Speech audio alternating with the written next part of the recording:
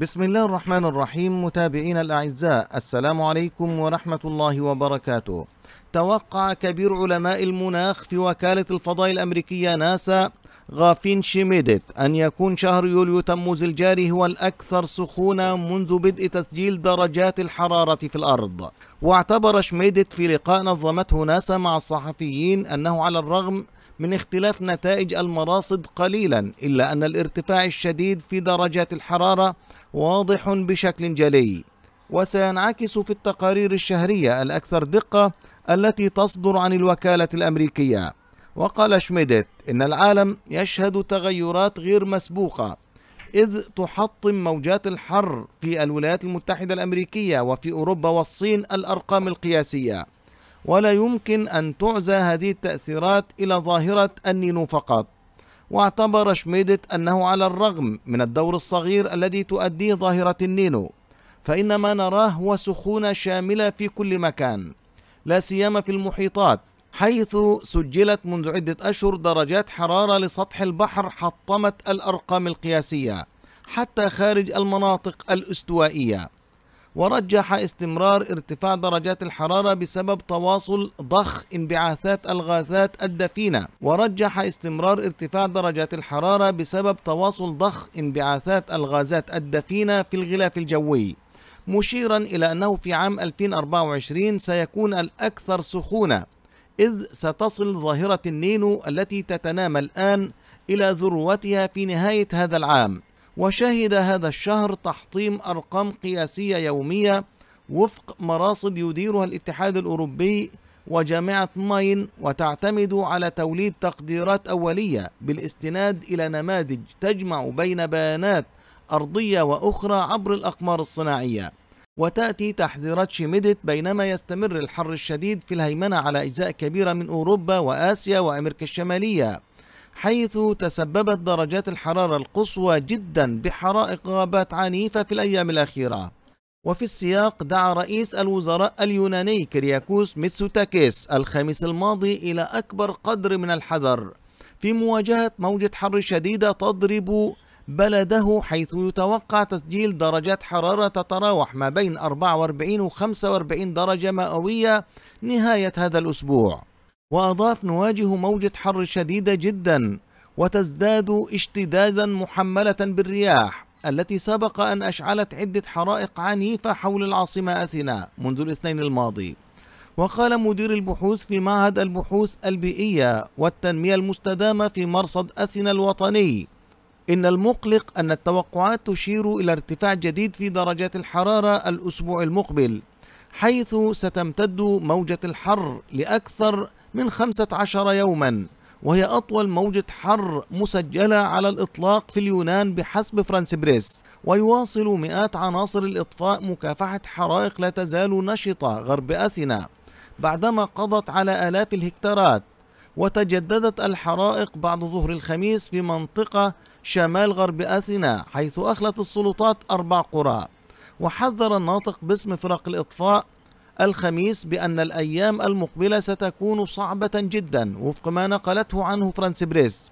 وفي تونس واصلت فرق الإطفاء في منطقة مولولا شمال غربي البلاد على الحدود مع الجزائر جهودها الرامية لإخماد حريق غابات مستعر منذ يومين بحسب ما أفادت الحماية المدنية الخميس.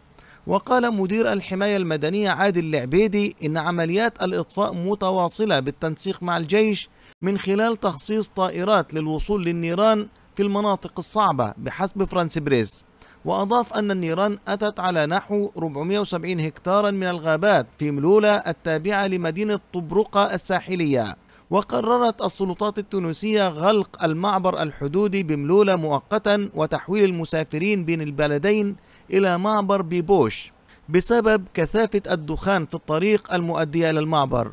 ولم تعرف بعد أسباب اندلاع الحريق في هذه المنطقة الجبلية الوعرة التي تنتشر فيها بكثرة غابات الصنوبر. وتشهد تونس حاليا موجة حر تتجاوز المعدلات العادية ما بين 6 إلى 10 درجات حرارة. وتتكرر الحرائق في تونس خلال فصل الصيف مع ارتفاع درجات الحرارة في الغابات وفي حقول مزارع الحبوب حيث اندلع حريق في صيف 2022 بمنطقة بوقرنين المتاخمة للعاصمة أتى على 533 هكتارا من غابات الصنوبر الجبلي واستغرق إطفاؤه ثلاثة أيام. نعرج معكم في نهاية هذا الفيديو على ظاهرة النينو والتي تقلق علماء المناخ وتحذر من نقطة لا عودة. حذر علماء المناخ من أن التغيير المناخي يقترب من نقطة اللا عودة. في ظل تسجيل درجات الحرارة في الأرض والبحر أرقاما قياسية موضحين أن هدف الحفاظ على ارتفاع درجة حرارة الكوكب في حدود واحد ونص درجة مئوية بات يصعب تحقيقه بعد أن أخفقت الدول في الوفاء بالتزاماتها في تخفيض الانبعاثات. وبين العلماء أن درجات حرارة الأرض المرتفعة توافقت مع تلك الموجودة في البحر بسبب ظاهرة النينو وعوامل أخرى. حيث بلغ المتوسط العالمي لدرجات حرارة سطح البحر في أواخر مارس آذار 21 درجة مئوية وظلت عند مستويات قياسية لهذا الوقت من العام الماضي في شهري نيسان وأبريل ومايو.